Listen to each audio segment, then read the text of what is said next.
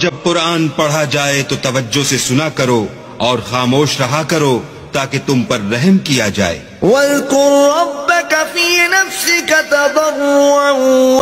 जब कुरान पढ़ा जाए तो तवज्जो से सुना करो और खामोश रहा करो ताकि